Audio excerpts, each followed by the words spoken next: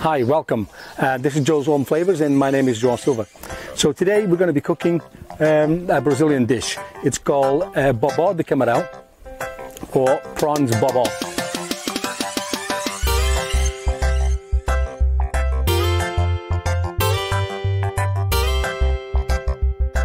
Uh, It is uh, typical from Brazil from a number of uh, regions.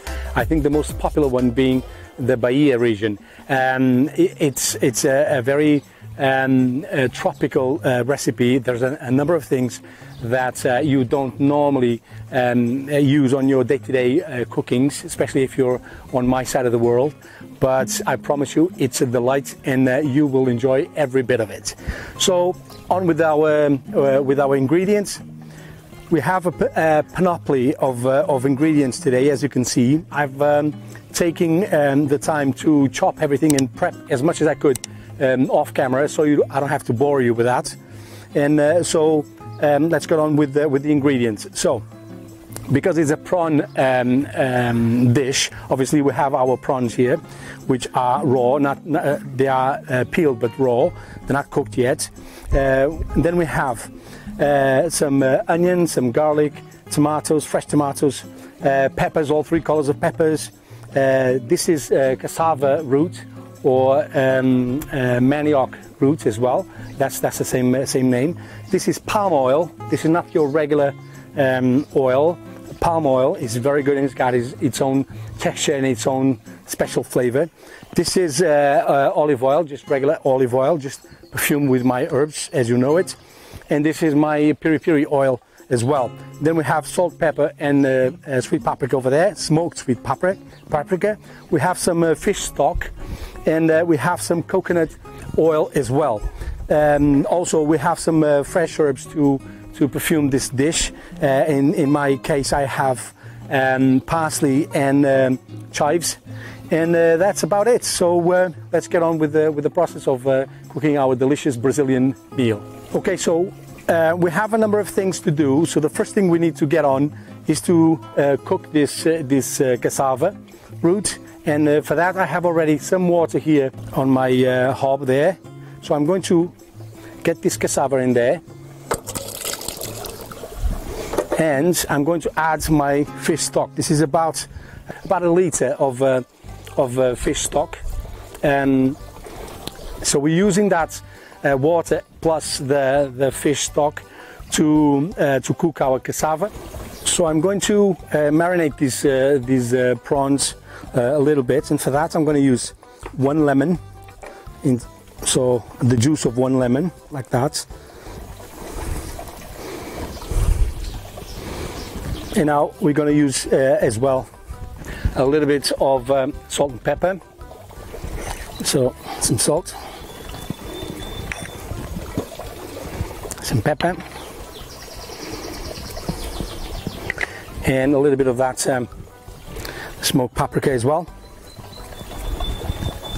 Okay. And now we're just going to marinate that. I'll give it a, uh, a good massage first and, and let it marinate there for a, a couple of minutes, okay?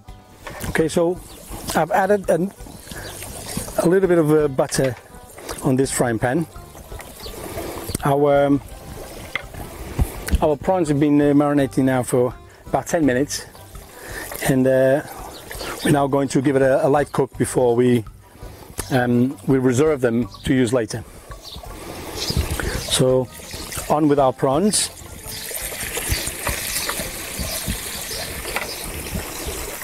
I'm using for this dish about 400 grams of prawns.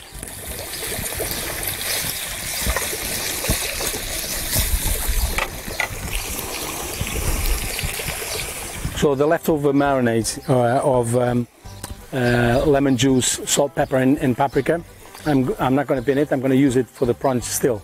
You'll see the prawns turning uh, pink, and when they turn completely pink, that means they're cooked.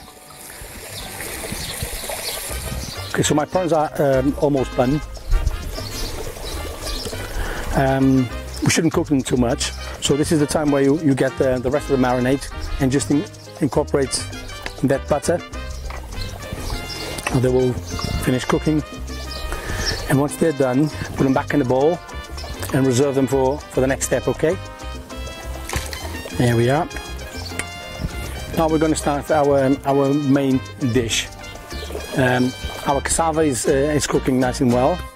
It should it should cook uh, for maybe 15 to 20 minutes because uh, it's a root and uh, it tends to be um, on a on a hard side a little bit, so it needs proper cooking.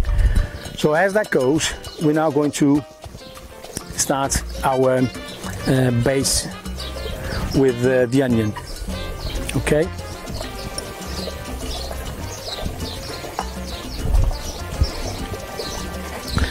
And now we need a little bit of olive oil. And then a little bit of our piri piri oil. And our palm oil. Look at that beautiful orange color. This is the palm oil. It's absolutely stunning. And it gives a nice um, and different flavor to, to your food as well. So as soon as you're happy that that, that onion is, is going, um, then you add your garlic. So we have about uh, four um, garlic cloves, but it depends on uh, on how much again how much you, you like garlic. Um, you can put more garlic or less garlic. It's up to you. And I will now um, add my uh, peppers. So all three of the peppers. This is half um, half a red pepper, half a yellow pepper, and half a green pepper. Um, but again, in terms of portions, uh, they'll all be in joeshomeflavours.com. Um, to the portions, to the to the the amount of food I'm, I'm producing today. But obviously, you can then adjust that to your um, likings and to your need as well. Depends on how many people you're cooking for uh, and how much you, you like one particular ingredient. Okay. So now now we need to uh, cook those uh, those peppers for a, a little bit as well. So the peppers have been cooking okay as well, and uh, they need to be nice and soft.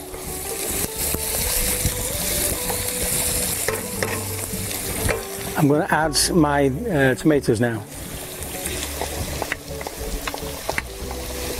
Okay.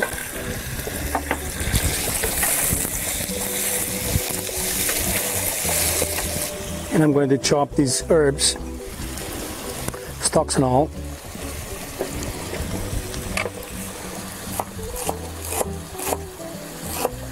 You can add some of the, these fresh herbs now to the pot.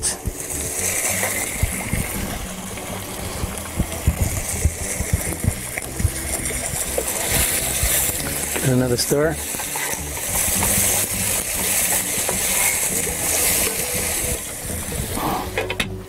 Let it cook for a bit. My cassava root is pretty much um, ready. The reason I chopped um, or diced that uh, cassava root uh, is to um, make the, the cooking process faster. So uh, either you uh, resort to a pressure cooker or you have to uh, allow um, 20 or 30 minutes to cook that root.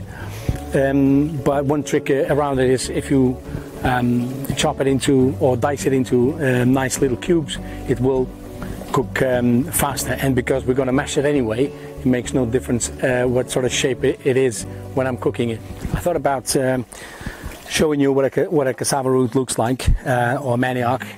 Um, all my friends in Brazil know what this is. This is uh, on their day-to-day um, food. It's one of the normal uh, things to use. Uh, we don't use it so much in Portugal. In Africa, uh, it's also a very popular um, root. And uh, yeah, this is what it looks like. Uh, here in the United K- Kingdom, you can you can find it everywhere in, this, in any supermarket. You just need to know what to look for and what's what it looks like. And this is how you cook it. Okay, so this is cassava uh, aka manioc root. Right, so our peppers are, and tomatoes and everything is rendering nice and beautifully. Um, as you can see, there's a they're becoming a nice paste. We want them soft like this. Uh, we don't want anything crunchy. So this is going well. I'm going to bring it to the minimum temperature and uh, keep it covered. And now we're going to work on this cassava. So I think my cassava is done as well. So I'm going to strain it because obviously I need to, save that um, sauce as well. So here we are.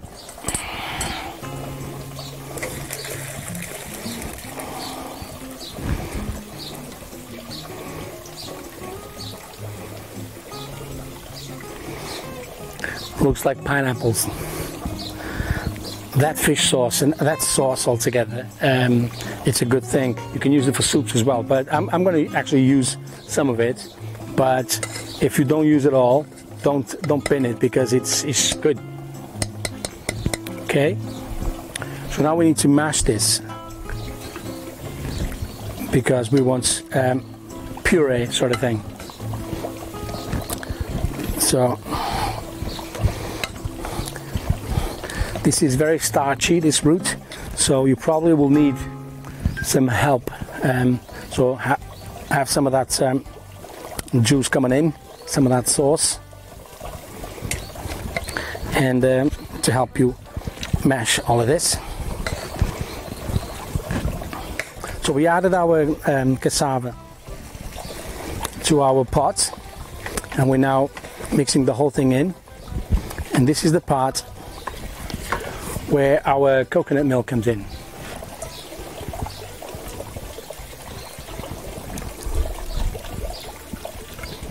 If you've never tried um, Brazilian cuisine, I strongly advise you to do it because it's so flavor, it's so full of flavor and so exotic and uh, tropical. Oh my God! Regardless of, of uh, where you are in, uh, in in Brazil, they know their stuff. They know their food. Okay, we need to get that back to temperature. Right. So let's get some salt going.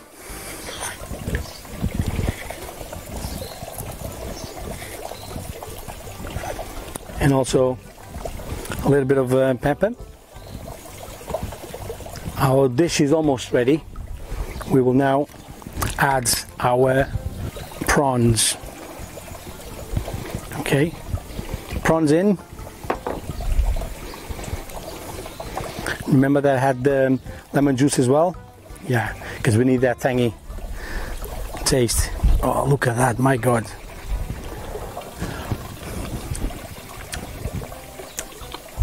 Doesn't get any better than that. Mm.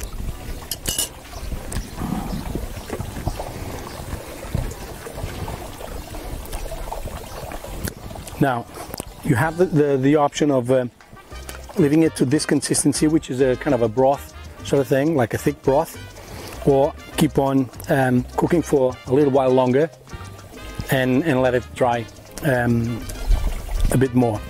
And then you can you can uh, serve this with uh, just white rice or uh, something uh, called farofa, which is what I'm what I'm having with.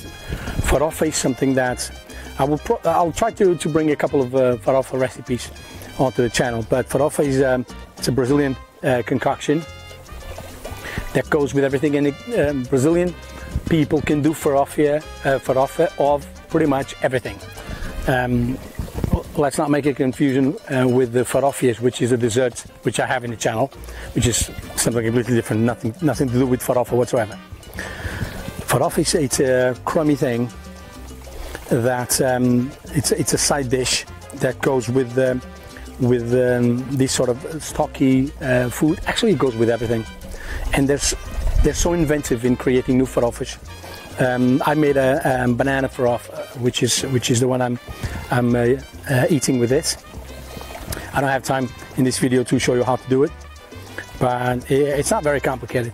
And um, but yeah, if you really want me to, um, I'll I'll get another recipe in uh, at some point with uh, with that farofa. Um, yeah, so this is this is pretty much done. We're going to uh, let it um, uh, cook off um, a bit of that liquid so it gets a little bit more consistent. And uh, and yeah. And then we're going to serve and I'm going to try it and let you know what it feels like what it tastes like. Okay? Look at that my god.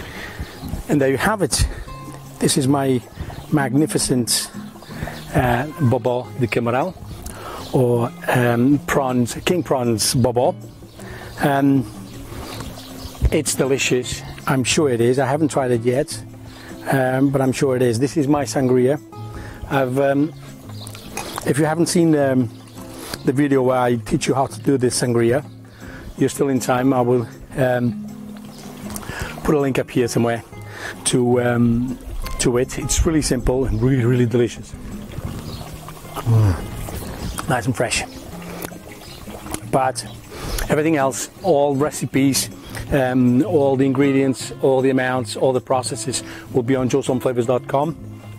So by all means, go there and um, and check it out. And if you have anything to add, if you um, would like to voice your opinion, by all means, g- uh, give me a comment down there as well, or down here if you want. And uh, don't forget to share with your friends and um, and subscribe to the channel if you haven't. So let's try this um, this uh, beautiful thing now. I'm actually going to use my fork alone rather than than um, the, the the knife. This is my farofia, the one I was telling you about, the banana farofia, not farofia, farofa. Mwah. So nice. Just gives a, a nice uh, texture to go with everything else. But you can serve this with the plain white rice, or with vegetables if you want, um, or just plain as as, as it is, because it's a it's a very own, um, um, a very capable standalone dish.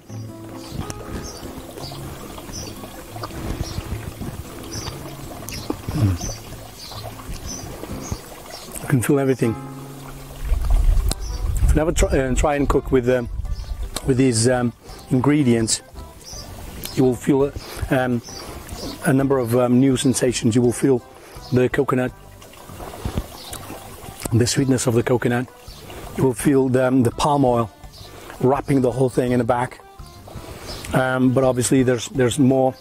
Um, there's a number of, of different fats um, incorporated into this. Uh, this cassava root um, mashed. It's just a beautiful texture.